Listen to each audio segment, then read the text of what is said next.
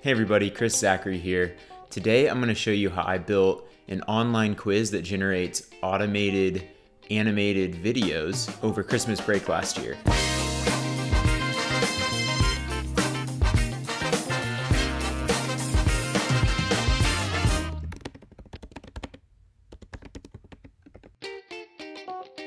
So for this project, I knew that I wanted to practice automating and customizing an animated video based on a user input.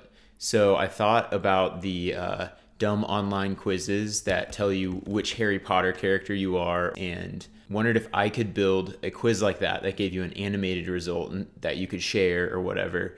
I haven't really built something like this from start to finish before, so I wasn't really sure where to start. I had an idea for what kind of video response I wanted, um, so I started by attempting to design the results image hoping that I would have time to turn it into animation. I don't usually design illustrations or videos in Figma, um, but I thought this would be a good chance to give that a shot since I would be designing the UI later with Figma. To be honest, I got a little discouraged when designing the results, like this image, I didn't like how it turned out, so I kind of scrapped it and moved over to something else that would be a little less subjective. I often get overwhelmed when designing or illustrating because of the just unlimited amount of options that you can do and kind of how subjective things looking good is. But instead of letting that get in the way, I usually try just hopping over to another part of the project that I feel like I have a better idea for, and then I come back to the thing that I'm struggling with later. So the next step was to actually build the website. I'm still trying to find the exact tools I like to use for web development, and right now I like sketching on paper and then designing in Figma, and then React.js is my preferred framework. I also love Tailwind CSS for easy styling without having to deal with style sheets. It just makes a lot more sense, honestly, for how my brain works. If you're trying to get into this sort of thing, it's really tempting to go down rabbit holes of chasing better frameworks and all the technology that developer types will say that you have to use. It's just like any other tool. It's not the camera that makes a photo good, it's the photographer. It's easy to look at tutorials and see plugins and think that downloading that plugin is going to make your art better. If you're not creating with your current tools, you're probably not going to be creating with any other tools. It's not the tools holding you back it's probably you.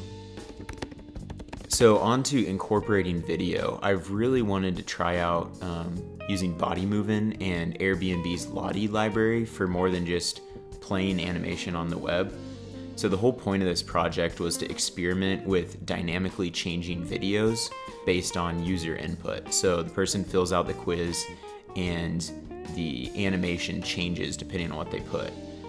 So, with that in mind, I started on the most crucial part of this project. I spent some time researching HTML5 canvas to see if what I wanted to do was even possible, and then I moved into an, an initial design for my video. Again, I wasn't really happy with the design I was creating, but I wanted to get something animated that I could test the dynamic insertion on, so I just plowed forward. Once I got the animation on the web, I had a lot of trouble getting canvas animation to resize dynamically, which probably shouldn't be an issue, but to be honest, I was winging it on a lot of this web development stuff and I spent a lot of time Googling dumb things. So I scrapped that attempt at responsive and made sure I could get the dynamic insertion working first. Honestly, it's a, it's a pretty common part of the creative process, and I try not to let that stop me. Uh, it's something I'm trying to learn is to just go the path of least resistance and if there's something that's blocking me just put it aside and work on something that isn't blocking me and then I might get a new idea or just more motivation for when I come back to the previous thing. Surprisingly, I was able to figure out pretty easily how to change the JSON file that Body Bodymovin spits out before it renders to the web page. I was pretty excited because I knew uh, that my idea might work now, uh, after a decent amount of hours spent on it, it was like now I knew the concept was legit. So from here on out, it was about making the content better and making the experience more enjoyable. I had a brief distraction into figuring out how to download a recording of my animation, which would have been nice to do, but I decided I'd push that off for later if I had time. So the other missing element in this project was an engaging animation. I was working on a super tight deadline here, so I needed the animation to be extremely simple. Um, I spent some time away from the computer sketching concepts and bouncing ideas off my lovely wife. That really helped me get away from the computer since my design attempt so far had been kind of lackluster. When I finally had an idea that I was happy with, I hopped into After Effects to start animation. A lot of times I design in Illustrator for more control, but honestly, when I'm working on a personal project with fast turnarounds and I don't have to send it to a client or anything, it's just a lot faster for me to design in After Effects and then hop right into animation. It was really tempting to spend more time trying to animate the video better. It's a struggle for me to try to build things to impress the other people in the motion industry. The little details in animation that might make some of my motion friends uh, respect the project more. But with this project, I really wasn't making it to impress other animators. I've been wanting to move towards using technology to make my animation more useful. So this was an experiment more for testing and building my skills in the tech side. I definitely wasn't chasing a staff pick with this one, which was a little difficult to grasp or to accept. And but once you kind of accept who your target audience is, and that you're not trying to just get a bunch of retweets on Twitter or likes on Dribbble or wh- whatever it is. It really helps you to be able to build things without getting distracted. After I had an acceptable animation, I exported with Body Bodymovin and updated my code to use the new video.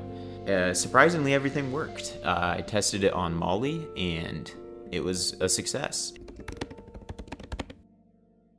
Since this quiz was supposed to give people uh, bad results no matter what the answer, I used JavaScript to randomly pick a number between 1 and 15 and use that to update the end card of the video.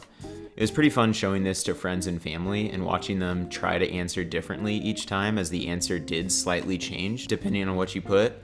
I also really cheated and deceived by creating a fake success image with my name to promote this project, pretending like you could somehow win and get a success video. Eh, was that false advertising? Probably. Do I feel bad about it? Eh, a little bit. So now that the important parts of the project were done, I started to refactor the UI a little bit to make the design better and to make the app easier to use. Uh, the biggest thing was moving each question onto its own page, which made each question more engaging and helped the user or the person taking it focus more on the question instead of browsing ahead. I also experimented with adding a social media share button, but ended up sticking with a simple share on Twitter button in the interest of time. When it came to deployment, I don't really know anything, so I'd heard lots of good things about Netlify, and since deployment and server ops in general are pretty much a mystery to me, I thought it would be a good uh, time to try out just a low friction way to get my app online. After I spent some time picking a domain name, which I couldn't figure out how to do a subdomain, so I bought the domain name itstheonlychris.cool. And then as soon as I got it deployed, I quickly figured out how to use the subdomain that I wanted to use, so I'll just save that domain for later use. So I got my site online.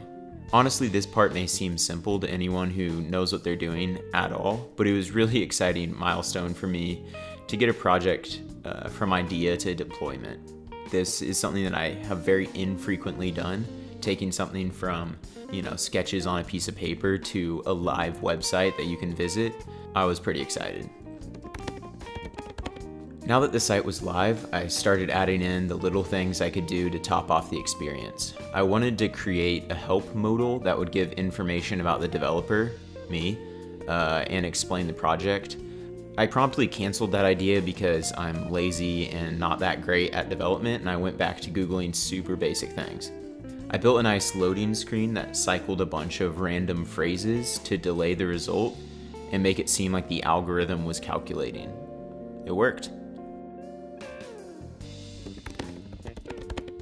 So last but not least, I wanted some sort of system to get a notification whenever someone filled out the form honestly, this is the part of the process that I feel the most stupid because there's so many better ways to do this.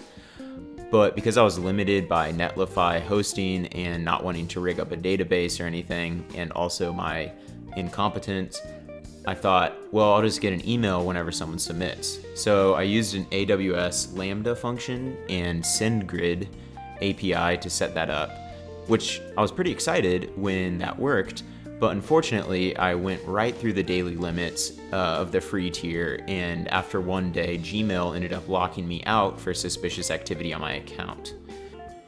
So after I launched and all this went down, I ended up scrapping that uh, email notification system and rigged up a similar Lambda function to send me a Slack notification whenever someone submitted. In hindsight, this, or probably anything else, would have been a better idea than email, but honestly, I'm pretty glad that I did what I did because not only did I get this project completed and shipped on time, but it was a great experience for shipping an MVP that you learn something and then iterate with a better version. So I didn't let my dumbness get in the way, and it actually led me to learning both SendGrid's API, which I've wanted to try, and to get more experience building a Slack bot, which has a ton of potential uses. So about the project as a whole, from a numbers standpoint, it was pretty good. It wasn't a huge success or a huge flop. I think I had about a thousand people that um, entered and created a thousand unique videos. So that was a success. I had a pretty good launch on Product Hunt, which was nice. I had never done that before. It was kind of fun. But truthfully, the, the best part about this project was just the satisfaction that I got from building a project from start to finish, taking an idea I had on a piece of paper and being able to execute it and release it as a shipped product that other people could use and do that at a limited scope without getting carried away or letting my perfectionism or other excuses get in the way of actually learning. If you take nothing else away from this, just don't let your perfectionism get in the way of finishing something. If you set a clear deadline and uh, really limit yourself on what you're creating, you can actually finish things. And that's a, it's a really nice feeling. If you've made it this far, uh, thanks for watching. Check out my website, it's theonlychris.com, and follow me on Twitter at it's itstheonlychris. That's where I'm most active online. And I'll be posting the code for this project on GitHub and the project files for free on Gumroad so you can download and do what you want with them. Thanks for watching. I will catch you next time.